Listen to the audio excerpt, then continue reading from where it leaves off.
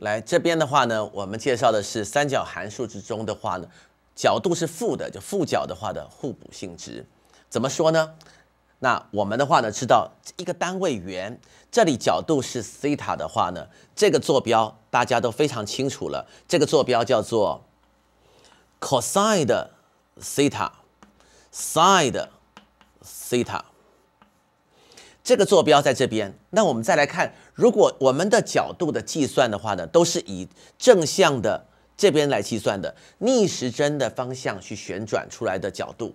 这个是逆时针，那这边叫做顺时针。如果是颠倒过来的话呢，那我们就叫做负的角度。那这个地方负的角度有没有关系呢？没有关系，我们就照写它的坐标。这是 cosine 的负的西塔，那这个地方的坐标是 sin 的负的西塔。那各位同学的话呢，从图上面是不是可以看到什么样的情况呢？请看 x 的坐标是不是一样？这两个坐标，x 是一样，那 y 呢？y 的坐标一个在上面，一个在下面，大小相等，正负相反。于是我们可以得到了一个非常重要的一个等式。来，什么等式呢？cosine 负的角度，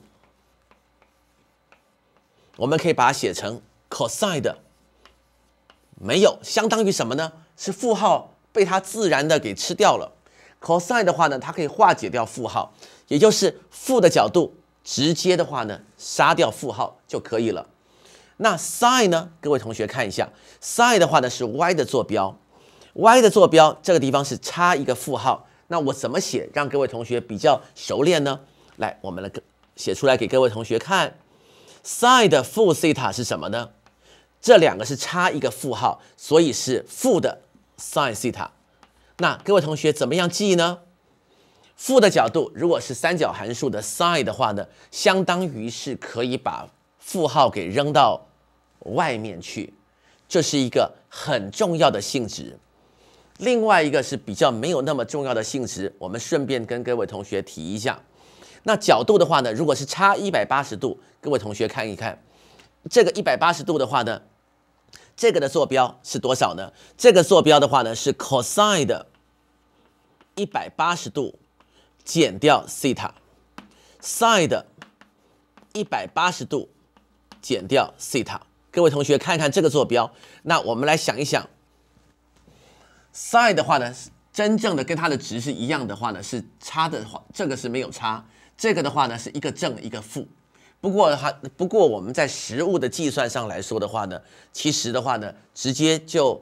看它距离一百八十度差多少就可以了，就按照我们的广义的三角函数的计算方法就可以了。那这一部分来说的话呢，这个地方比较重要。那顺便提一下，tangent 的话呢，负西塔又是怎么样呢？那各位同学知道，tangent 本身就是 sin 除以 cosine sin 除以 cosine。那各位同学看一看。这个负号可以提到外面去，这个负号被吃掉，所以的话呢是 tangent 的话呢跟 sin 比较像，它的话呢是负号可以扔到前面去。那从此以后，我们这种这个公式的话呢，是我们耳熟能详。如果同学有用到的话呢，负的角度 sin 是丢出去，cosine 呢是直接吃掉。来，我们来给各位同学做一个例子，如果今天。你们出了一个这样的题目，负的六十度，那各位同学会不会直接写答案呢？负六十度没关系，有负的直接化解掉，直接变成 cosine 六十度等于多少？二分之一。好，我们再来看哦，sin 呢？负的六十度，那是多少？负的。在 sin 的来说的话呢，它可以把它丢到外面去。